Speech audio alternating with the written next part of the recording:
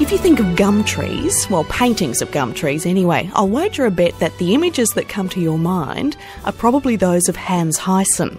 No one painted gum trees more obsessively than Hans Heysen did. He was born in Germany in 1877, came to Australia, to Adelaide, with his family when he was seven, and lived and worked most of his adult life in Hahndorf, the German settler town in the Adelaide Hills, until his death in 1968. And although he was definitely a popular and successful painter in his own lifetime, since then opinions about his art have waxed and waned a bit. An exhibition of his work is on now at the Art Gallery of South Australia. It's the first major exhibition for more than 30 years and the biggest ever. And after Adelaide, it goes on tour around the country for the next two years. Rebecca Andrews is the curator. Rebecca, what's the general current opinion on Hans Heysen? Is he in or out of fashion at the moment? Oh, look, there's certainly been a reassessment of Heysen's influence on the, the history of Australian art. And certainly, this exhibition is timed to encourage a reassessment and uh, introduce him to a new generation of people. I wonder if uh, our interest in him now also is, in part at least, nostalgia for a, a rural Australia that uh, many of us don't have that much contact with anymore. And even where contemporary images that we're confronted with are so often of environmental damage, you know, like the, the dying river red gums of the Murray or the old growth forests being logged, so that we have a nostalgia for Heysen's majestic and healthy and living gum trees.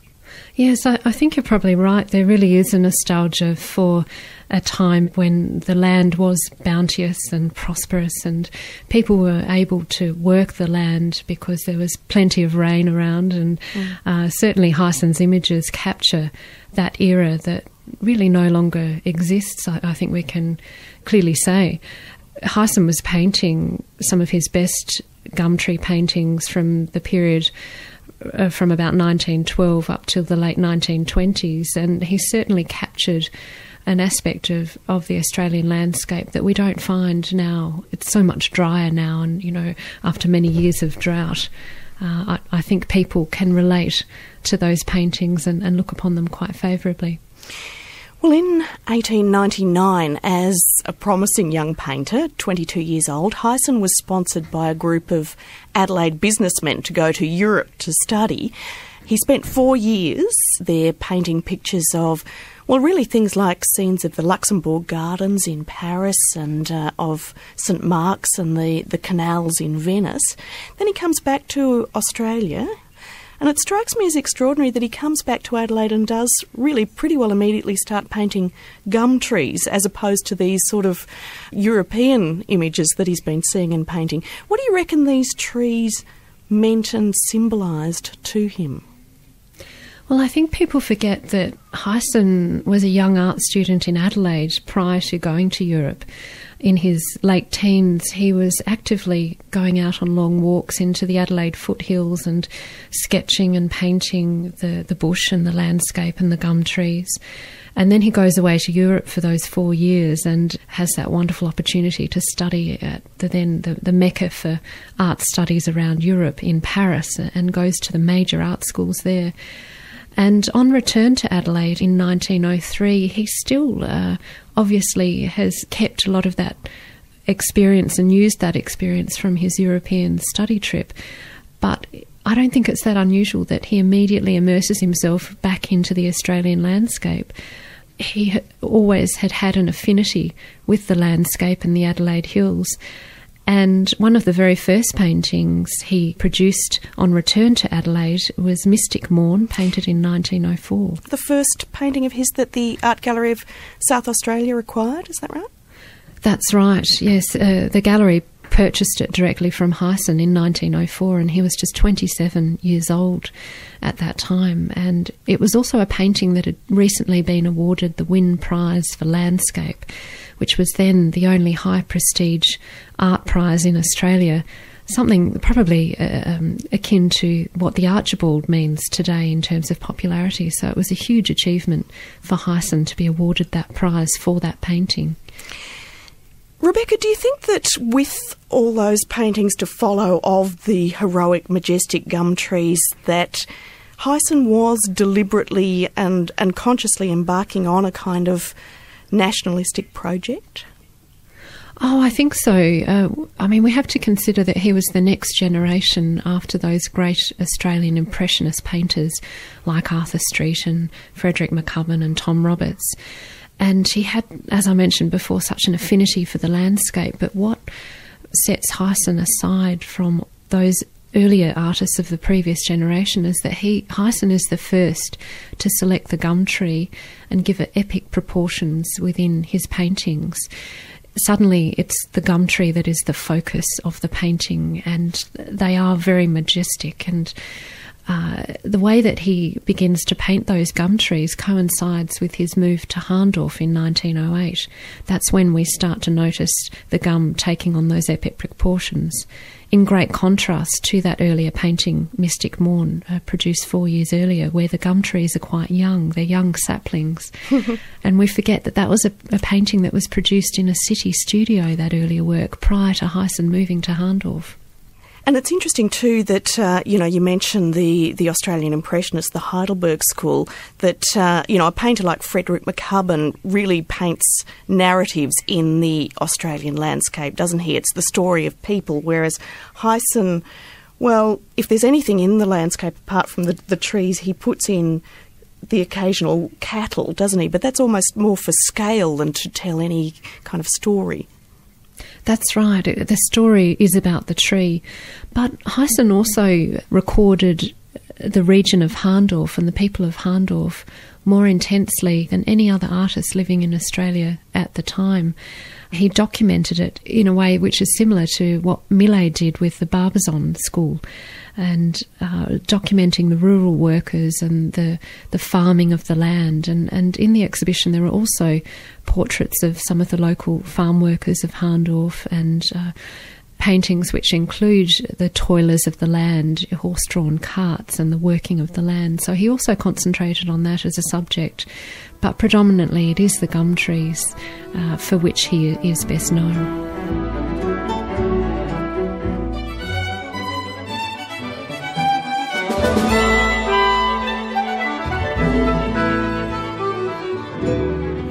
This is Artworks on ABC Radio National on air and online. Amanda Smith with you, along with Rebecca Andrews from the Art Gallery of South Australia, the curator of a touring exhibition of the art of Hans Heysen.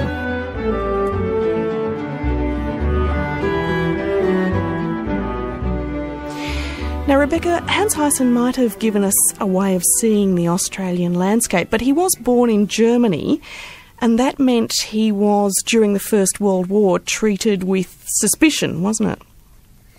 Yes, un- unfortunately, he was subject to some suspicion, and in particular, when he tried to sell a painting, uh, The Three Gums, to the National Gallery of Victoria, it was rejected because of Heysen's German heritage. And this was quite a devastating thing for, for someone like Heysen, who had made his living on, on painting the Australian landscape. You know, uh, what, how could he have been any more Australian than what you see in his paintings? And it was an unfortunate time for him. We should mention too that this was a time in, in South Australia where all sorts of German words and place names were being changed, weren't there? I mean, things like um, Berliner buns became Kitchener buns for, for the duration, and, and Hahndorf itself was renamed Ambleside, Ambleside. That's right, yes. Well, apart from that period during the First World War when he, he did suffer somewhat from that prevailing anti German sentiment, Hans Heysen was a popular and a successful artist. But as his painting and, and as the 20th century proceeds, Rebecca, is there any impact at all of modernism on his work? Yes, absolutely. And we find this in the mid 1920s. In, in 1926, in fact, when he makes his first trip to the Flinders Ranges in South Australia's north. At the time, uh, Heysen is 49 years old and he's becoming increasingly aware of repetition within his works, within the gum tree paintings of the Adelaide Hills. Yes, finally, also- paint one gum tree, painted them all, huh? Yes, but also he, he's increasingly aware of modernism and the progressions in modernism in Australian art, and particularly contemporary artists, his contemporaries such as Margaret Preston and even Max Meldrum. And if you think of how different their art is compared to Heysen's at this time, uh, you, you, you know you will understand where he's coming from. Yes, So Heysen is, is, is really still, I guess, harking back to 19th century painting traditions. That's right. He he was painting in a very traditional way the Australian landscape and the prosperity of the bush. And at this time, he's probably in search of new subject matter, so he decides to make his first trip into South Australia's north in the Flinders Ranges. And for the first time in the late 20s, he encounters this desert like landscape, completely barren, and the, the antithesis of, of the landscape which he has come from in the Adelaide Hills. And he, he begins to paint it and he is the first artist to select and exhaustively study this landscape as artistic subject matter in its own right as opposed to for example artist explorers from uh, previous generations like S.T. Gill or Frome who certainly painted the Flinders but as artists who were accompanying explorations Yes, for purposes of recording, yeah. really, weren't they? Exactly, exactly. They weren't painting it uh, for its artistic subject matter, whereas Heysen is. Well, describe And- these paintings from this period and how they're different to the Adelaide Hills paintings in what they're reflecting and representing and stylistically. Well, it's a landscape that's completely barren. There aren't that many trees, uh, not much green grass at all, because Heysen was only visiting during the summer periods and periods of drought. And uh, vast, vast distances and deceptive distances where there are ancient mountain forms in the distance. And uh, Heysen immediately fell in love with this landscape. And he actually described it as the very thing that you moderns are trying to paint fine, big, simple forms and spaciousness everywhere. So it was a sort of, he saw it as a, a, a modernist landscape. Is that He right? certainly did, yes. And he paints it that way too. Whether it's an unconscious thing, uh, his paintings of the Flinders Ranges are the closest, I believe, he gets to modernism in his art, in terms of reducing the landscape to simple form and colour. I think his Flinders Ranges paintings are some of the most interesting works that Heysen produced because he was such a pioneer at that time to be exploring that landscape and, and recording it on canvas and on paper. And people forget that it was six years later that Rex Battarbee first went up to Hermannsburg Mission in the early 30s and, and introduced the art of watercolour painting to Albert Namatjira. Heysen was before all of that, and uh, certainly much later then in the 1940s, you see artists like Russell Drysdale and Sidney Nolan painting the desert. Uh, so Heysen really was a pioneer in that respect. Well, as the Australian landscape left its mark on Hans Heysen, he's also, uh, by name, left his mark on the landscape, hasn't he? In that, certainly around South Australia, there's lots of things named after him, aren't there? There certainly are, yes. Uh, in the Flinders, of course, there's Heysen Hill and the Heysen Range near the Aroona Valley. There's also the Heysen Trail. That goes, Uh, that's the walking track that goes from Victor Harbour up through the, the Flinders Ranges. There's also the Heysen Tunnels, too, yeah? That's right, yes, on the freeway leading into Adelaide. So he, he had such a huge influence on our Australian art, but also our culture and our place names, obviously.